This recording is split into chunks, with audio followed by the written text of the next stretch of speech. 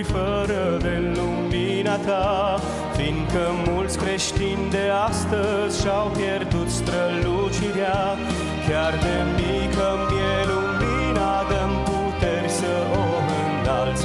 fă ca să crească, să ajungă până la cer.